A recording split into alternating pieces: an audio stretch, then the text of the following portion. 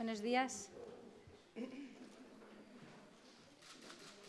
Comenzamos la rueda de prensa posterior al Consejo de Gobierno, la última antes del periodo vacacional, en el que se han visto eh, varios temas, se han aprobado expedientes de gran importancia para la comunidad autónoma. Finalizará la intervención la consejera de, Economía y Hacienda mmm, presentando el proyecto de modificación de la estrategia RIS-3.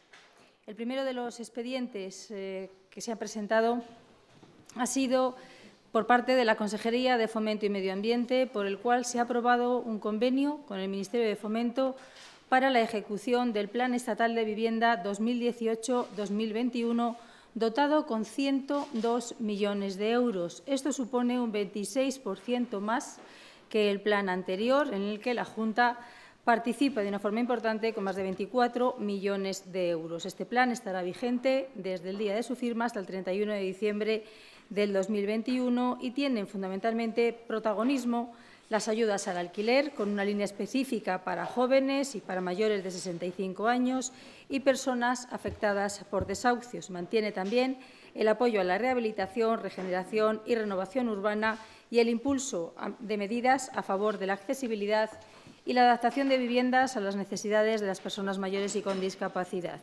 Tienen en la nota de prensa todo el detalle eh, por subprogramas eh, vinculados, como decía, fundamentalmente a la ayuda de alquiler, con más de 61 millones de euros. Eh, creo que son medidas muy importantes para beneficiar a quienes más lo necesitan en lo que es un derecho fundamental como es el derecho a la vivienda. El segundo de los expedientes de la Consejería de Fomento y Medio Ambiente ha sido para aprobar una inversión de 2,9 millones de euros para una nueva conducción de agua en Peñaranda de Bracamonte, en Salamanca. Asimismo, se ha aprobado una subvención a entidades locales que forman parte de zonas de influencia socioeconómica en espacios naturales protegidos por importe de 1,5 millones de euros que permitirán mejorar los 16 espacios naturales. Asimismo, se ha aprobado una subvención de 250.000 euros a la Fundación Centro de Servicios y Promoción Forestal y de su Industria de Castilla y León, CESEFOR. La Consejería de Presidencia ha presentado para su aprobación un proyecto de decreto por el que se regula la selección del personal funcionario, interino y laboral temporal, es decir, las conocidas bolsas de empleo, eh, excluyendo el personal sanitario y de educación, es decir, funcionario interino y laboral temporal. De esta forma, con estas modificaciones, es un decreto muy técnico, como pueden imaginar, eh, lo que se permite es que las personas seleccionadas eh, puedan estar siempre a disposición para incorporarse en los puestos en los que sea imprescindible ocupar las plazas. Y además se, per se persigue incentivar el hecho de que las personas interinas eh, se preparen y participen en las oposiciones que se convoquen. El nuevo procedimiento eh, se establece de forma específica en el, decreto y eh, se habilita una forma novedosa de gestionar las bolsas, de modo que no se agotarán, aunque no se hayan celebrado procesos selectivos, que era uno de los inconvenientes que eh, sucedían en este momento. La superación de los exámenes de oposición es el mérito más valorado, como no puede ser de otro modo.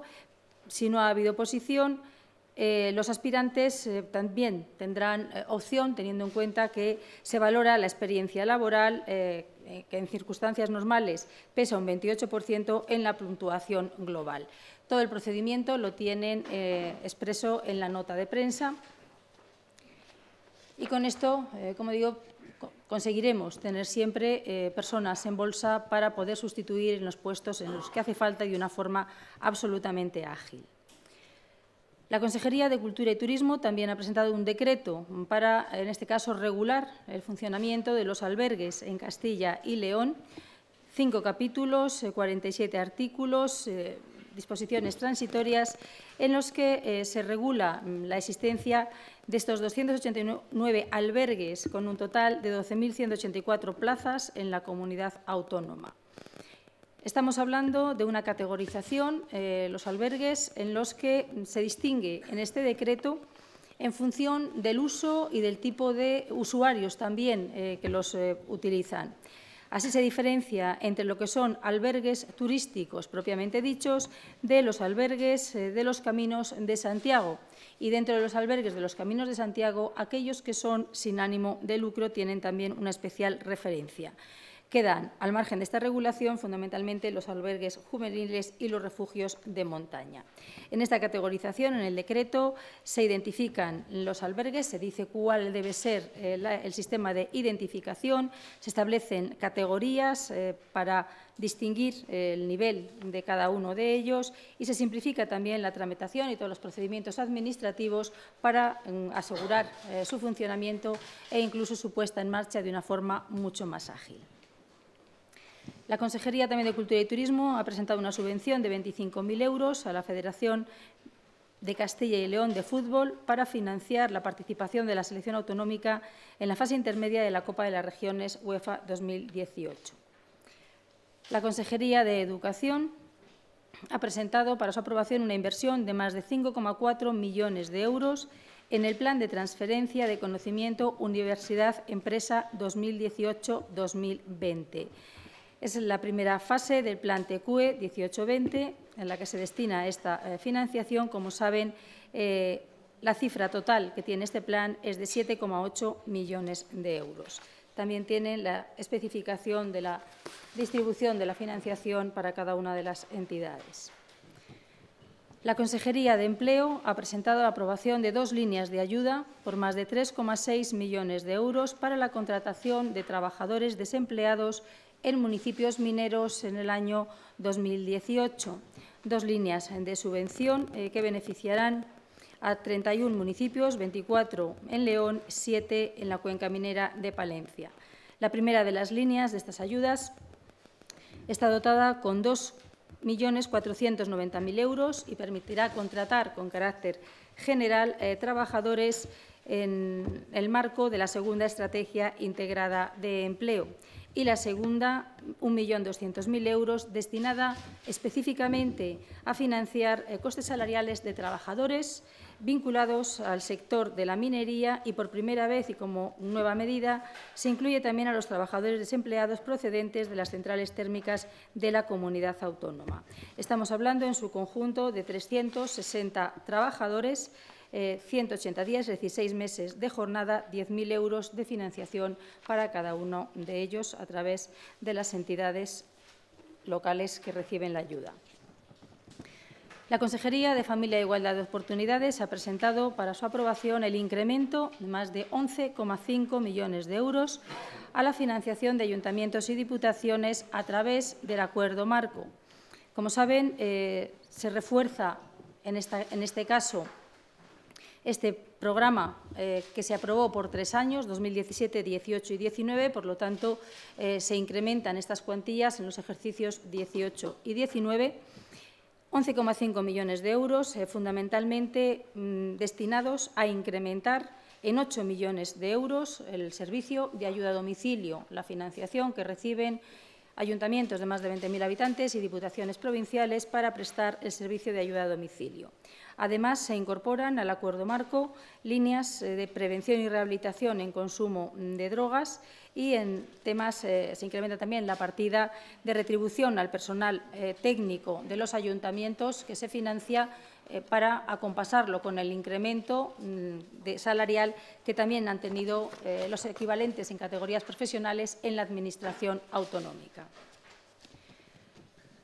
Además de este incremento del acuerdo marco de servicios sociales, la Consejería de Familia e Igualdad de Oportunidades ha presentado la posibilidad de aprobar, y se ha aprobado con 200.000 euros, la ampliación del centro de día de estancias diurnas en la Asociación de Familiares de Enfermos de Alzheimer de Ávila, lo que permitirá al centro pasar de 45 a 60 plazas. La Consejería de Sanidad ha presentado la aprobación de 120.000 euros eh, para la Diputación de Segovia a fin de que realice mejoras en los consultorios locales.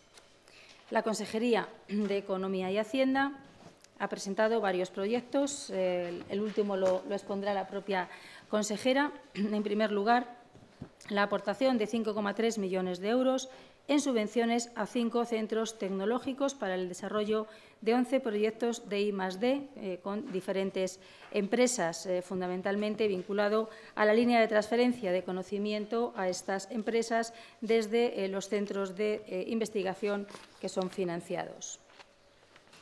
Asimismo, se refuerza el programa ADE Financia con un millón de euros para la bonificación de créditos a pymes y emprendedores mediante la concesión de una subvención directa a la Sociedad de Garantía Iberaval, un millón de euros, como decimos, para reforzar las operaciones eh, de financiación que lleva esta entidad.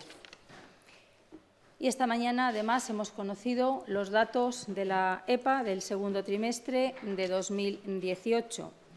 Buenos datos, eh, como corresponden también al segundo trimestre, pero especialmente importantes teniendo en cuenta eh, dos hechos. Estamos justo a tres años de la, legislatura y eh, que en este momento Castilla y León, con estos datos, es la segunda comunidad autónoma con mayor bajada interanual del paro en términos porcentuales. 18,43% menos paro en términos interanuales, 30.400 parados menos que hace un año, el mejor dato desde 2008. Determina este hecho que la tasa de paro en Castilla y León sea del 12%, 3,28 puntos menos que la media de España, que se sitúa por encima del 15%, con especial diferencia en el caso de los jóvenes, en que el diferencial no es un 3,28, sino más de un 6,4% respecto a la media nacional, y que hay 10.200 personas ocupadas más en el último año. Por tanto, se está creando empleo en Castilla y León, hay más población ocupada, son 985.400 los ocupados, según la última EPA. No solo se está creando empleo en Castilla y León, sino que el paro está bajando de una forma más rápida en Castilla y León que en el resto de España y especialmente entre las mujeres, eh, teniendo en cuenta que ha bajado cinco puntos más que la media nacional. Por tanto, un balance positivo teniendo en cuenta que aún hay 134.000 parados eh, que quieren seguir trabajando y por los que nosotros tenemos que seguir apostando para que encuentren un puesto de trabajo. Pero, insisto, un dato positivo justo a los tres años de comienzo de la legislatura.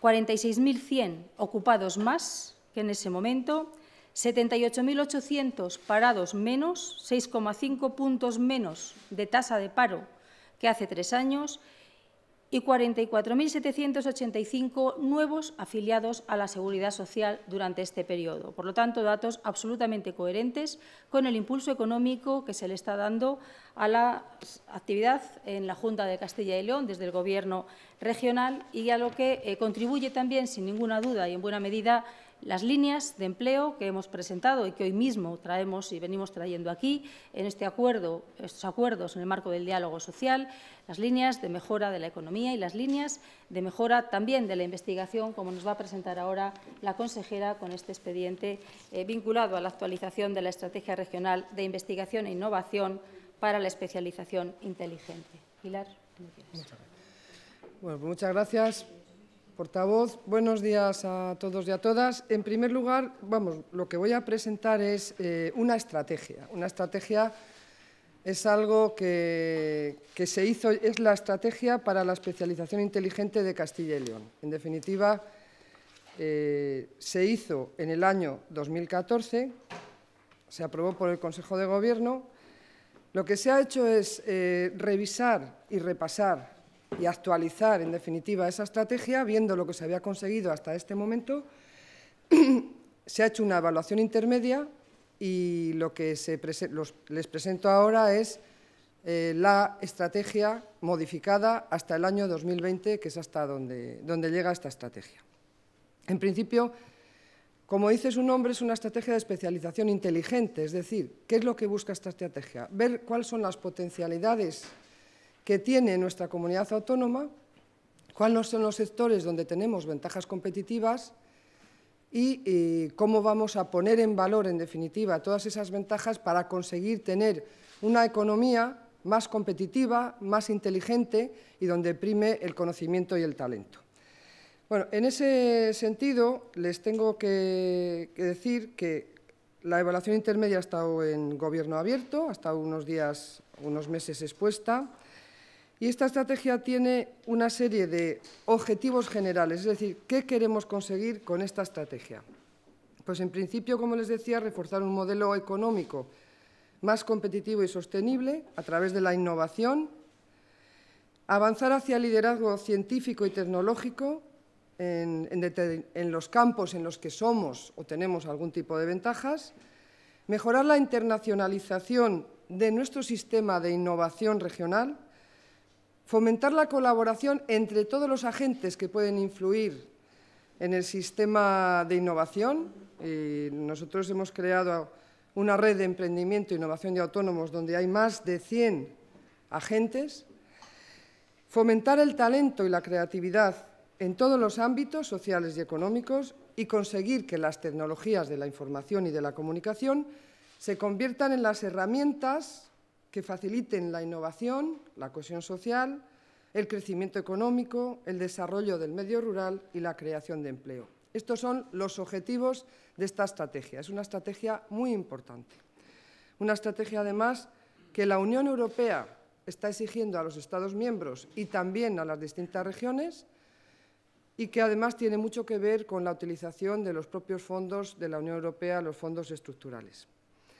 Como decía, para conseguir estos, estos objetivos estratégicos se diseñan una serie de programas que básicamente son los mismos que, que había hasta este momento, el de innovación y economía más competitiva, el de ciencia excelente y liderazgo, la internacionalización, la colaboración, la agenda digital para Castilla y León, pero hay uno nuevo en el que me, gustaría, que me gustaría destacar y que ha sustituido al anterior, que es un programa de atracción, captación y retención del talento.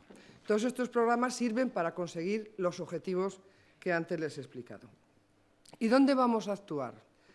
Pues vamos a actuar en los mismos sectores que se actuaba inicialmente en la RISA aprobada en el año 2014. ¿Cuáles son los sectores? los mismos, como les digo. Lo único que se hace es concretar un poquito más, como quedan menos años, dentro de ese sector, qué es lo que se va a potenciar.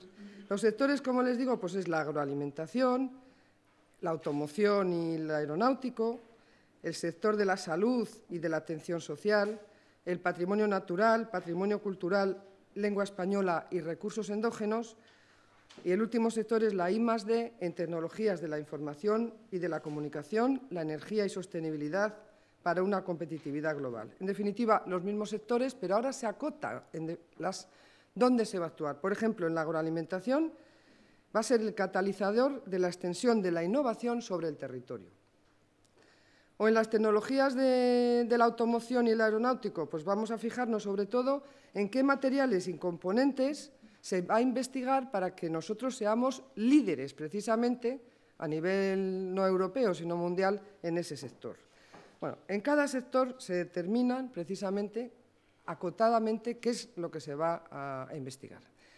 Y para ello, y es otra novedad de esta, de esta estrategia, se, se, han puesto como siete iniciativas emblemáticas. ¿Qué es esto? Dirán. Bueno, pues las iniciativas emblemáticas lo que hacen es colaborar o contribuir a que en esos sectores de los que hemos hablado y de los que Castilla y León tiene ventajas, eh, precisamente eh, se, consigan los objetivos que pretendemos con la estrategia, se consiga un modelo económico más competitivo, que seamos líderes en científicos, que estemos internacionalizados, que colaboremos, etc. Bien, pues estas siete iniciativas emblemáticas que les quiero comentar son la bioeconomía circular, muy interesante, Conocimiento y competitividad, que es una iniciativa general, la innovación sociosanitaria, la ciberseguridad, la industria 4.0, la escalera de la excelencia y las escuelas conectadas. Como digo, dentro de lo amplio que es el campo de la economía, de la innovación, pues nos vamos a centrar en estas iniciativas para conseguir los objetivos que se pretenden, que al final es eso, tener una economía más competitiva y más innovadora. Bien, como ven, son cosas muy novedosas. Algunas ya estaban recogidas, como no puede ser de otra manera, en el, plan de industria, en el plan director de industria, que dio origen a un acuerdo que firmó el presidente de la Junta de Castilla y León con todos los grupos parlamentarios, donde se establecía precisamente eh, dónde había que trabajar y ahí estaba contemplada la ciberseguridad, que va muy ligada a la industria 4.0. O sea, vamos, solo, solo, faltaba que una industria que haya hecho sus procedimientos todos telemáticos, usando Big Data, pues que no, no se protegiera de los ciberataques. Bueno, pues todo eso está recogido ahora como iniciativas emblemáticas en nuestra comunidad autónoma, como digo, de acuerdo con lo que se firmó con los grupos parlamentarios. Em, respecto de esta revisión que se ha hecho de la RIS-3, también les tengo que, comentar que, dado que en el, en el periodo 2014-2016 se habían movilizado más recursos de los que había previstos, lo que se ha hecho es subir la previsión de recursos a movilizar para hasta el año 2020. Se sube 500 millones, de manera que el total de los recursos que va a movilizar esta estrategia son, en todo el periodo 2014-2020, 9.681 millones de euros, de los cuales 3.802 son recursos públicos, de la Junta de Castilla y León, digo todo el periodo, son 2.500, de otras administraciones, incluida la europea, son 1.302, y los recursos privados, que son importantísimos, más importantes que los públicos, que es lo que se pretende, ¿no? que las empresas y los centros de investigación que dinamicen la economía e inviertan, pues ahí son 5.878 millones. Total, como les decía, 9.681 millones, 500 más de lo que en principio se había puesto antes de la revisión.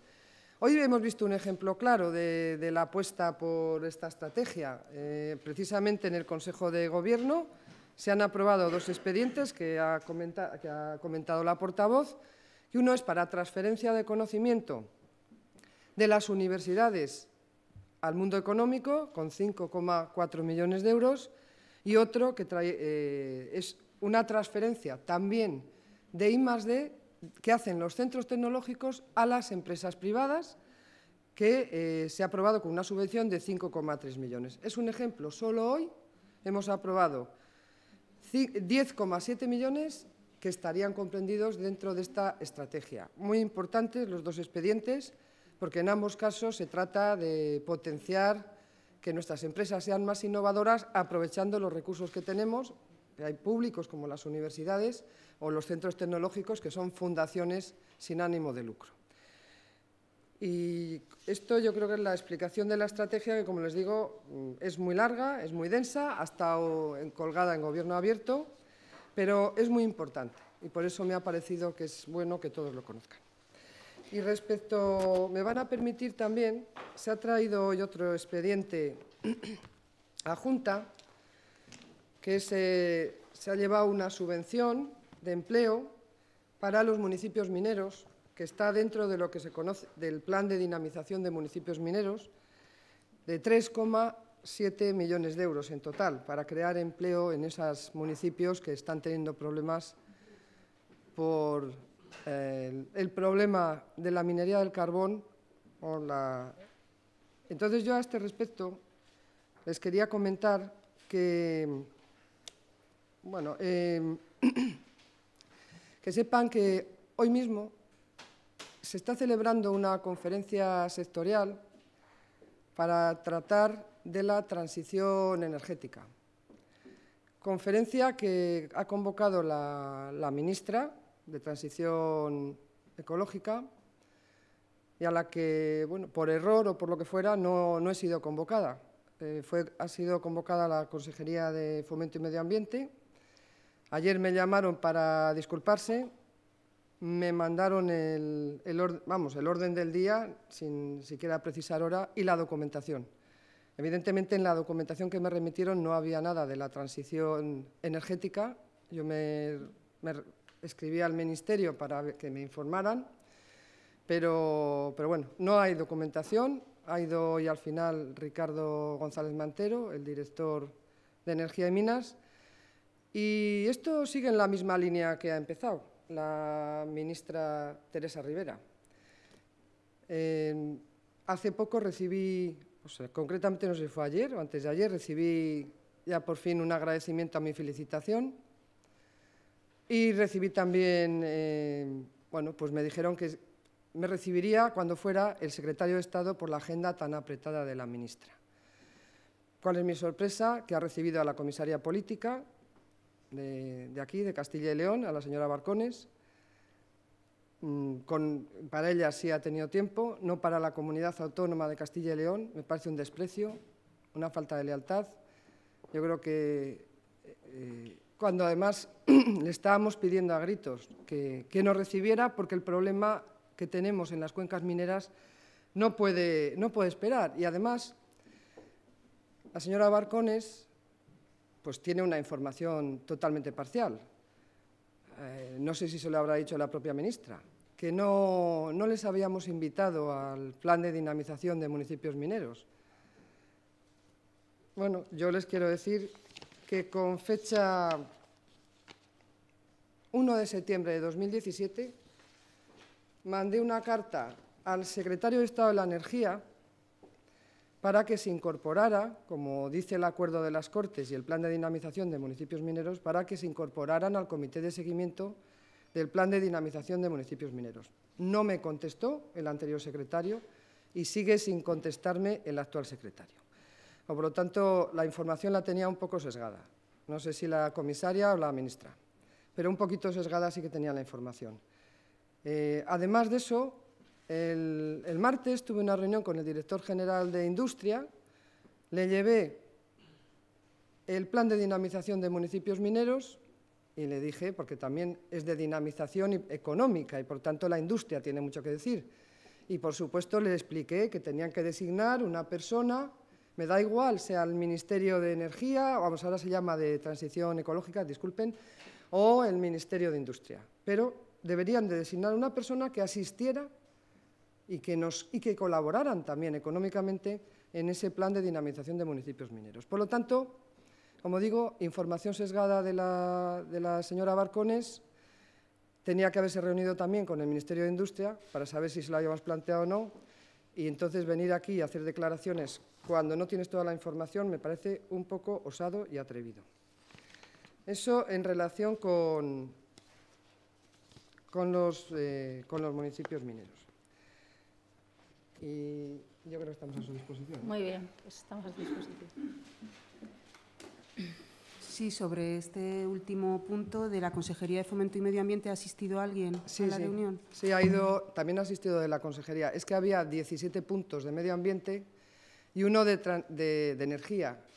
Lo que pasa es que eh, debería haberlo convocado, en todo caso, eh, la ministra es igual, podría haberlo convocado igual, pero convocarnos a los consejeros que tenemos competencia en materia de energía, y más cuando es un tema que tanto nos importa en Castilla y León, la transición energética. Creo que llevamos mucho tiempo, muchos años, muy preocupados por la transición energética, por el fin del carbón, por qué va a pasar con las térmicas, me ha parecido, porque no he recibido al final la convocatoria, solo unas disculpas que no me habían convocado, pero no he recibido la convocatoria. Y de, por parte de Energía, yo les puse en, un correo que remití ayer, contestando a la conversación telefónica, que iba a ir Ricardo González Mantero. Porque es que estamos muy interesados. Yo hoy tenía Consejo de Gobierno, Comisión Delegada, en fin, y tampoco estaba convocada. En cuanto a la estrategia regional que, ha presentado, mm, los 500 millones de más eh, se suman a los 4.615. O sea, estaba previsto que se invirtieran 4.115 y se han sumado 500 ahí. No, estaba previsto, las cifras. El total de la estrategia era 9.181 y se han puesto 9.681 los 500 ya se han invertido o se van a invertir en este periodo? No, es hasta para el periodo lo que queda, o sea, el 18 que estamos invirtiendo, y les decía, hemos aprobado 10 millones, 19 y 20. Pero es que ha funcionado bien, incluso si tienen la estadística del año 2016, que es la última publicada, las empresas en Castilla y León han invertido mucho en I+, de I. Entonces, está, como ha ido bien los tres primeros años, que es cuando eh, ya liquidados, pues entonces por eso se se actualizan las cifras porque creemos que se va a conseguir toda esa inversión en el periodo en lo que es especialización inteligente, que, como digo, basado en conocimiento en I+.D., en talento. La próxima semana creo que hay Consejo de Política Fiscal el martes. Eh, no sé si ya tiene el orden del día y qué nos puede comentar al respecto. Bueno, pues aquí tengo mucho que decirles. Digo tengo mucho porque eh, nos han avisado por teléfono que guardáramos esa fecha, el 31 de, este mes. Eso, siguiendo la tesis de, Montoro, exactamente lo mismo, el día 31 de julio. Pero yo no sé si se va a poder celebrar ese Consejo de Política Fiscal y Financiera o si se va a celebrar con el orden del día sugerido, que era el reparto de los objetivos que ahora se ha, aprobado el global para todas las comunidades. Y ahora lo que se hace es repartir ese global entre todas las comunidades autónomas. Son los objetivos individuales de cada una de las comunidades autónomas. Em, eso es lo que nos han dicho, que si se celebra es para eso. Y digo que a lo mejor no se puede celebrar porque, desde mi punto de vista, puede ser ilegal. Eh, para que, y siempre desde mi punto de vista y desde el punto de vista también de la Junta, por supuesto, eh, para poder celebrar ese Consejo y poder repartir los objetivos, tiene que estar aprobados en el Congreso y en el Senado el objetivo global, que es el que informamos el otro día. El objetivo global, los objetivos globales para, para todo el conjunto del Estado español, eso es un requisito indispensable. Y eso no sé si se va a producir. Eh, aunque, aunque eh, se están buscando eh, subterfugios, no sé si legales o ilegales, para intentar que no opere el veto del Senado. y en este sentido, se aprobó en una ley orgánica la ley orgánica de estabilidad y hablo de una ley orgánica, luego vamos a ver si, cambian a decreto ley, va a ser complicado que por decreto ley se pueda modificar una ley orgánica. Pero es que además cuando, alguien eh, no, está de, acuerdo con la ley aprobada por mayoría absoluta, que eso dice una ley orgánica, en el Congreso y en el Senado, pues cambiamos la norma, ¿no? Pues así como hacen en otros países eh, no tan avanzados. Entonces, ah, yo pienso que que, va a ser difícil, por lo menos por la postura que, ha manifestado el, Partido Popular, que se aprueben los objetivos en el Senado y, por lo tanto, supongo que no podrá convocar este Consejo de Política Fiscal y Financiera, a salvo que se salte la ley. Respecto de esta, de esta cuestión, también les quería comentar y explicarles que el pasado Consejo de Política Fiscal y Financiera, que se aprobaban los objetivos para el conjunto de las comunidades autónomas, Castilla y León votamos en contra. Y votamos en contra por varias razones. Primero, porque el Gobierno se ha negado a reformar la financiación autonómica. Se ha negado. Otra cosa es que ahora empiece a recular a la vista, eh, a recular que tiene que ser efectivo, porque una cosa es que le diga en reuniones bilaterales a cada presidente que ve, no te preocupes que te voy a mejorar, presidente A, la financiación autonómica. eso no es lo que queríamos en Castilla y León, no es lo que hemos firmado con los grupos parlamentarios. Nosotros queríamos que se discutiera la financiación en el seno del Consejo de Política Fiscal y Financiera y no que a cada, en reuniones bilaterales ya se le empiece a decir a la presidenta de Andalucía, oye, es que tú vas a tener tantos millones más. Precisamente creo que eso es lo que nunca hemos querido en Castilla y León. Queremos que se hagan las cosas con luz y, taquígrafos y no como nos imaginábamos que iba a ocurrir, yendo eh, dando dádivas. dádivas perdón. Está claro que lo que queremos en Castilla y León es más financiación para el estado del bienestar, no más deuda, no más deuda. Y es que es una decepción y un engaño que digan que más financiación para los servicios públicos cuando solo es más deuda. Es decir, que aquí viene un, ciudadano a pedirnos una ayuda para la renta de renta garantizada de ciudadanía y la consejera del ramo, la de familia, le dice, no te preocupes, no te voy a dar ayudas, no te voy a financiar, pero vete al banco, que te den un préstamo y yo te autorizo a que te lo den. Mire, eso, ¿quién debe? ¿Quién debe? ¿Debe la consejera de familia? No, debe el señorín o la persona que ha ido con esa necesidad. Bueno, pues esto nos ocurre igual a nosotros. Es que a mí que no, que no nos den más deuda, que nos den más financiación, que hemos lo, que lo hemos dicho desde el principio. Y, por otro lado, también les tengo que decir sobre el techo de gasto que ha presentado el, Gobierno, que crece un 4,4%. el techo de gasto es, al final, lo que hacemos también aquí en Castilla y León. Es el gasto no financiero de un año, se compara con el gasto no financiero de otro. Bueno, pues es, la comparación de gastos es que el crecimiento es el 4,4%. Pero el otro día, en el Consejo de Política Fiscal y Financiera, acordamos que el gasto no financiero no podía subir más del 2,7%. Y eso para las comunidades autónomas es lo que rige, lo cual significa que a lo mejor no podemos aprovechar las, las dos décimas que dicen que nos van a dar más de déficit, porque no podemos endeudarnos más, porque superamos el gasto y no podemos superarlo por el otro límite que hay.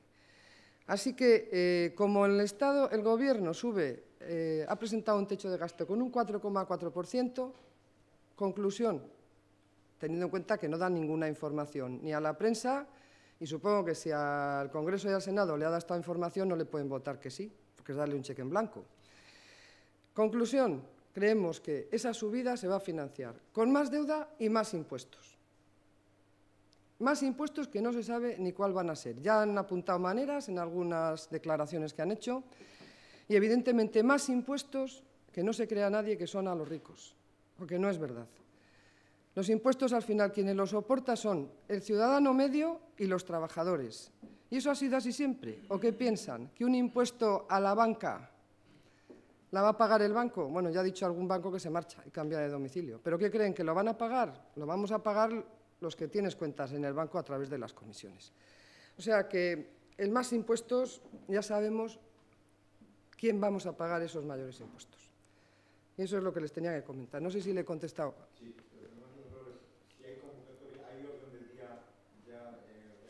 No, no, no, no, no, no. Hay un, aviso telefónico.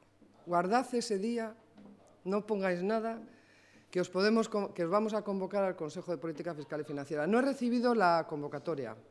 La tengo que recibir pues 72 horas antes de, la celebración del Pleno. La otra vez no, no, cumplieron, también es un Pleno que tuvo sus problemas porque lo convocaron con 48 horas y hubo alguna comunidad autónoma que avisó que podía ser anulable. La legalidad está para cumplirse y no para irla vadeando. ¿Se puede concluir de sus palabras que hay un auténtico enfado de la Junta con el gobierno de Sánchez? ¿Con? El gobierno actual. No, o sea, vamos a ver, no, no hay una... Hombre, lo lo que no me parece, no del gobierno de Sánchez, de ningún gobierno que, no cumpla la ley y que intente cambiarla cuando no le viene bien, pero no del gobierno de Sánchez, es que me parece de cualquier gobierno que se precie. O sea, lo que no puede hacer es un gobierno con 85, no sé si tiene 85, 83 diputados, es intentar cambiar una ley orgánica a través de un decreto. Eso me parecería mal de este gobierno de Sánchez o de cualquier gobierno. Y, me parece mal todo para, aprobar algo con la que la mayoría de la Cámara no está de acuerdo. Y es que la ley es claro, fija eh, todo lo que son los objetivos de estabilidad, lo que es el techo de gasto, reside su aprobación en las Cortes. Y que ahora se lo quieran saltar y que resida en el Gobierno, me parece un ataque duro a, la separación de poderes incluso. Quería preguntar respecto a la, estrategia esta, esos 500 millones eh, a mayores, que son, ¿qué parte financiaría la Junta? ¿Cuál vendría? ¿Eso se sabe un poco?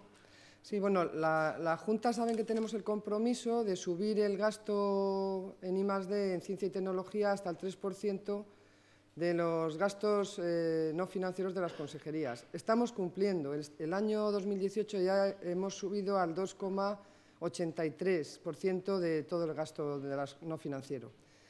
Y, en el año presupuesto que viene llegaríamos al 3, que es el último de la legislatura. Por lo tanto, se recoge en esa senda que, se ha presentado y que la tienen a su disposición en, Internet y si no está colgada, se recoge la progresión del gasto público de la Junta. Pero es verdad que también incluye en ese gasto público de la Junta de Castilla y León, porque lo dice el manual de elaboración, se llama el manual de Frascati, que es el que se utiliza para elaborar estas estrategias, eh, se recoge también eh, el 30% de las universidades que se considera que es lo que se destina a la investigación, el 30% del gasto de personal de las universidades que es el que se destina a esta investigación. a esta estrategia. Perdón. Así se establecen los manuales que hay para hacer la estrategia. Entonces, el gasto público de la Junta es el 3% que nos habíamos comprometido más el gasto en universidades. Más luego está todo lo público que se trae de Europa del Horizon 2020, que también lo traen, por ejemplo, los centros tecnológicos están trayendo dinero de, Europa en proyectos competitivos. También se recoge lo que, lo que el Gobierno de España tiene que invertir, eh, porque tiene fondos estructurales en I más de más O sea, se recoge el gasto público de todas las administraciones. Y eso todo va en progresión. Sí, no sé si este gobierno en minoría no es capaz de sacar el techo de gasto en el Congreso y en el Senado, no sé cómo y repartir individualmente los objetivos, no sé cómo puede afectar todo esto a la elaboración de los presupuestos autonómicos. Bueno, como todo es ahora mismo una incógnita y eh, nosotros el procedimiento... Ay, se me ha olvidado decirles, perdonen, ya que pregunta usted esto, que hoy se publica la orden de presupuestos, la orden de elaboración de presupuestos, que es el primer paso para la elaboración de los presupuestos. En ese sentido, ¿cómo, cómo nos afecta? También está recogido en la Ley de Estabilidad y en la Ley nuestra de Estabilidad. Lo primero, eh, una vez que se apruebe el objetivo individual de la Junta de, de la Comunidad de Castilla y León, los objetivos individuales, tenemos un mes para aprobar el techo de gasto. Vamos, para presentar, perdón, presentar el techo de gasto que luego se debate en las Cortes. ¿Qué pasa? Que si no se llegara a aprobar ese objetivo individual para Castilla y León, pues sería, no podríamos eh, nosotros continuar avanzando porque no podríamos aprobar el techo de gasto. Eh, lo que también no me parece, porque nosotros aquí hemos ido presentando presupuestos estos años, saben que no teníamos mayoría absoluta, y antes de todo se negocia con otros grupos parlamentarios y se acuerda cuál es el techo de gasto más idóneo para que se pueda salir adelante. Y también no es un reproche al Gobierno, pero tanto diálogo y tanto no es no ¿Por qué no se han sentado el Gobierno con otros grupos parlamentarios para, ver, bueno, que no sean los, nacionalistas, los bildus y todos esos, es decir, para ver si un techo de gasto podía ser aprobado. Es que mm, no puedes pretender que te apruebe algo en las Cortes dando los papeles que tengo yo, que serán los que tengan las Cortes, supongo, cuatro, cuatro papeles sin explicar ¿De dónde sale el techo de gasto? Unas gráficas. Hombre, entonces yo creo que hay que un gobierno que, sea dialogante, pues se tiene que sentar a dialogar con, los que te tienen que aprobar precisamente el techo de gasto. Vamos, ya digo que si confiamos todo a independentistas que piden, que piden por todo, piden pagos en especie muchas veces, pues claro, así no vamos a, a ningún sitio. Sí, a la portavoz quería preguntar si le preocupa a la Junta que el PP siga de vídeo casi Congreso, porque hoy sabe que Santa María no ha acudido al Comité Ejecutivo del Partido. Bueno, el, el, trabajo lo está realizando eh, el partido y Pablo Casado a la cabeza, por lo tanto, han empezado a dialogar ayer. Yo creo que hay que darle margen a las, a las conversaciones hasta el momento en que eh, se llegue a la fortaleza con la que se salió del Congreso el pasado fin de semana.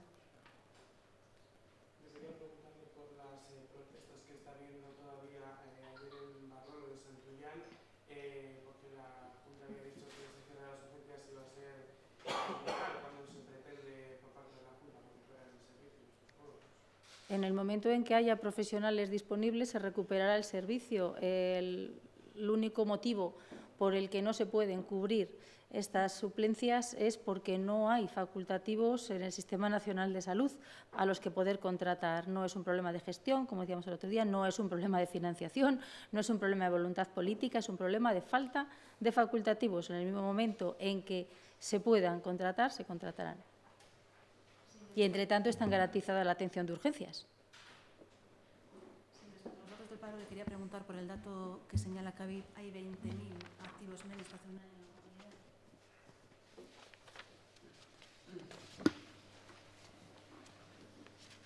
Realmente, realmente yo creo que lo, lo importante es el, el, dato de cómo va evolucionando en el, en el marco anual en el interanual, incluso en los tres años, como hemos visto, el número de población, el dato de población ocupada, la bajada de paro, el menor paro que hace un año y, sobre todo, ese 12% de tasa de, tasa de paro. Lógicamente, además, eh, por eso precisamente les he apuntado el dato de afiliación a la seguridad social, que es absolutamente coherente.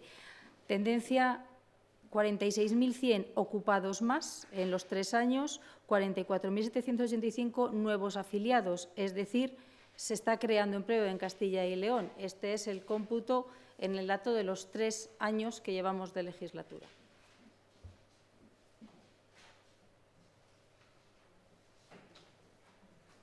¿Alguna cuestión más? Muchas gracias. Que pasen buenas vacaciones, ¿no?